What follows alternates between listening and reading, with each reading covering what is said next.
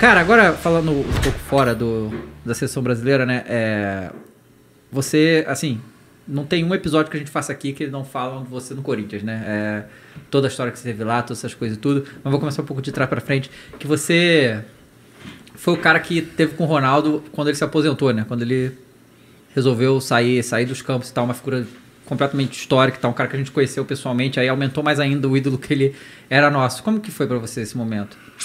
Eu estava descendo agora uh, o túnel aqui para chegar aqui e estava a camisa do Ronaldo é, com a assinatura, digo, essa aqui eu reverencio. Uhum. Uhum. É, e, e, cara, eu tive orgulho de poder trabalhar com o Ronaldo. Eu não tive absolutamente nenhum problema em trabalhar com o Ronaldo e sentia que a presença dele ela emanava na equipe uma, uma, um, um, uma confiança que cada um quando olhava para ele, estou entrando com o Ronaldo, sabe, muito alto, um nível de confiança muito alto. E mesmo ele nesse final de carreira, sem estar com as suas condições físicas ideais, Aliás, muito longe disso, essa verdade. Até porque os joelhos dele tinham muita dor, ele sofria muito para se manter eh, nas, nas, suas melhores condições. Eu digo que eu falava assim: nós trabalhamos para entrar três bolas para o Ronaldo. Uma, ela vai ser um uh, quase.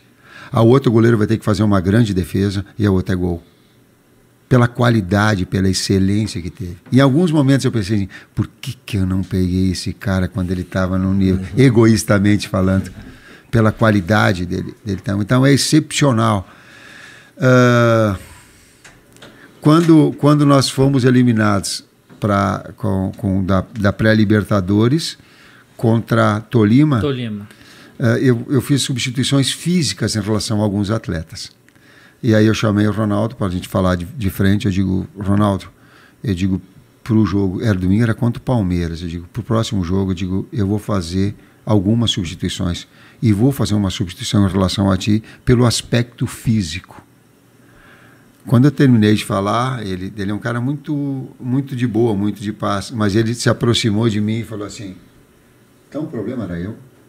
Então o problema sou eu? Eu falei: não, Ronaldo. Eu estava colocando isso num primeiro plano, porque o primeiro, o primeiro problema é meu, porque eu tenho que equilibrar a equipe. O segundo, eu tenho que é, fisicamente equilibrar e condicionar melhor, porque nós tivemos muito pouco tempo. E é o teu caso, aí eu citei mais dois, três casos que precisavam re ser recondicionados fisicamente. Para ter uma equipe que ela fosse menos qualificada, porém mais competitiva no clássico contra o Palmeiras. E essa foi a opção para aquele momento, mas que nós voltássemos e que nós, na sequência normal e natural da grandeza dele, pudesse voltar. Mas a necessidade eu entendi. Mas eu tirando o Ronaldo, e ele colocando então, digo, não, o problema ele é um conjunto. E tecnicamente, digo, também vou retirar os outros jogadores que não estão produzindo. Né? E aí a gente foi para o clássico contra o Palmeiras.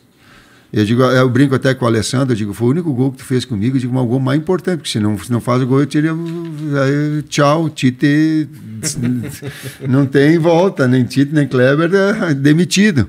Porque era um jogo emblemático. E na sequência, ele, ele colocou assim, pô, eu vou parar. Ele procurou, acredito, o Andrés, e disse, pô, eu vou parar. Estava com essa, talvez com essa ideia. Eu mandei recados para ele para que não parasse, porque tentei interferir duas vezes, mas aí também tem que respeitar todo, todo lado do profissional. O extraordinário, é, Ronaldo, e daqui a pouco eu carrego, acho que ele parou comigo. mas eu não queria. pois é, né? Já basta já o que, o, o que fala.